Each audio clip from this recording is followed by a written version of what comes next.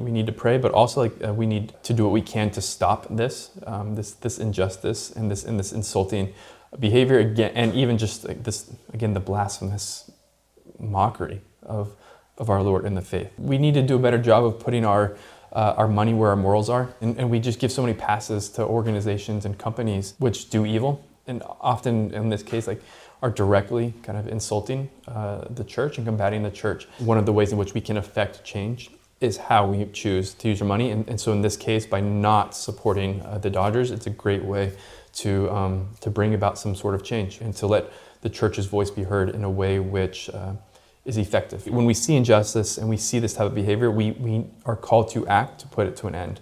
But also, like, we always want to, to see, like, okay, Lord, where are you calling me also? to repentance? What are you calling me to do to respond to this?